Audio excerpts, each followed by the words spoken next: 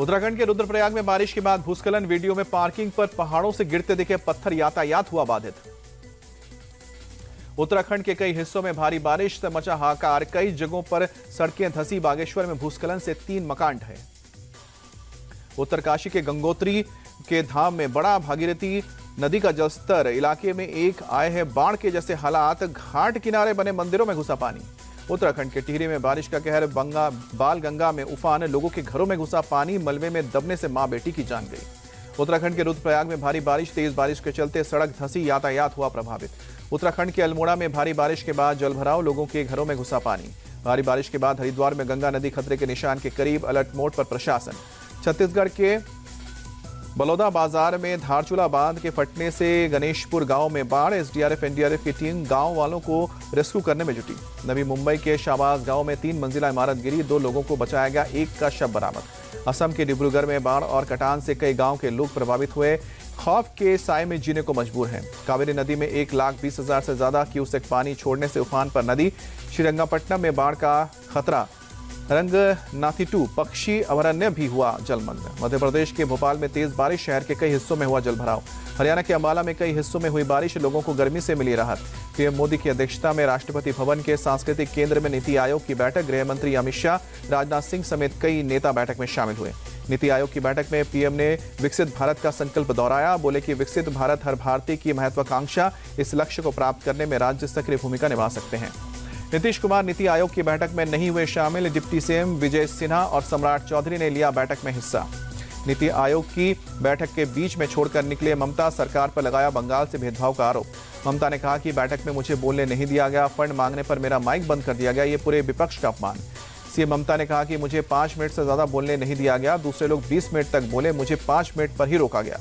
ममता के माइक बंद करने के आरोप का सरकार ने किया खंडन, कहा कि सीएम ममता का आरोप गलत है, उनका बोलने का वक्त खत्म हो गया था। नीति आयोग की बैठक का गैर बीजेपी शासित राज्यों और विपक्षी दलों ने किया बहिष्कार। रेवंत रेड्डी, सिद्धरमैया, भगवंत मान और स्टालिन सहित कई नेता बैठक में शामिल नहीं। नीति आयोग की बैठक में शामिल नहीं होने पर बोले तमिलनाडु के सीएम स्टालिन इंडी गठबंधन को वोट देने वालों से बदला लेने की भावना से केंद्र ने बजट बनाया। लगातार तमिलनाडु की अनदेखी किया जा रहा है।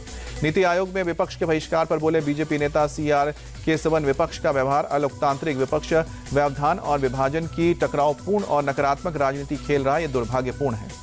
केंद्रीय मंत्री सतीश चंद्र दुबे बोले, मोदी सरकार ने किसी भी राज्य के साथ सौतेला व्यवहार नहीं किया जिसका जितना हक है उसको उतना मिला है। बीजेपी नेता मुख्तार अब्बास नकवी ने विपक्ष पर सादा निशाना बोले कि कांग्रेस और इंडी गठबंधन बॉयकॉट करने में माहिर है, बहिष्कार उनके लोगों के विकास और प्रगति में बाधा उत्पन्न करेगी।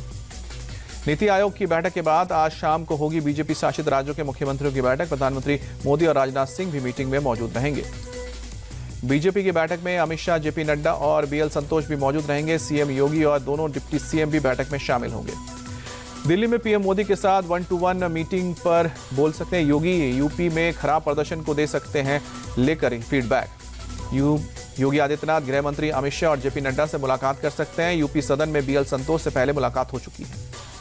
महाराष्ट्र विधानसभा चुनाव से पहले अजित पवार को लग सकता है बड़ा झटका। शरद पवार गुट में शामिल हो सकते हैं। बाबाजी, बाबा जानी दुरानी। उद्धव ठाकरे का आज जन्मदिन। बधाई देने के लिए बड़ी संख्या में मातोश्री पहुँचे कार्यकर्ता। उद्धव ने भी कार्यकर्ताओं से मुलाकात की। उद्धव के जन्मदिन पर शिवसेना, यूबीटी का शक्ति प्रदर्शन। मातोश्री के बाहर कार्यकर्ताओं ने लगाए उद्धव ठाकरे, भावी मुख्यमंत्री के पोस्टर। उद्धव ठाकरे को लेकर बोले राउत, महाराष्ट्र के लोगों की भावना है कि उद्धव फिर सीएम बने। जनता चाहती है कि इस राज्य के नेतृत्व की कमान उद्धव ठाकरे के हाथ में हो। महाराष्ट्र के संभाजीनगर में मराठा समाज के लोगों ने शरद पवार के खिलाफ किया प्रदर्शन। मराठा आरक्षण को लेकर शरद पवार से मिलने की मांग की। चेन्नई में डीएम के कार्यकर्ताओं का केंद्र सरकार के खिलाफ विरोध प्रदर्शन, केंद्रीय बजट में तमिलनाडु की अनदेखी का आरोप लगाया। रामनगर ज़िले का नाम बदलकर बेंगलुरु दक्षिण किए जाने पर बोले कर्नाटक के deputy CM DK Shivakumar कहा कि यह बेंगलुरु जिला है। हम अपना नाम, अपनी पहचान क्यों खोए? हमें अपने हक की रक्षा करने का अधिकार है। कर्नाटक कैबिनेट के रामनगर ज़िले का नाम बदलने पर बोले श्री राम मंदिर के मुख्य पुजारी आचार्य सत्येंद्र दास कहा कि योगी सनातन राम की परंपरा के अनुसार नाम बदलते हैं, लेकिन कर्नाटक सरकार को राम का नाम अच्छा नहीं लगता। आप सांसद संजय सिंह ने बीजेपी को बताया दलित विरोधी पार्टी बोले बीजेपी दलित आदिवासी और अल्पसंख्यक के, के खिलाफ है।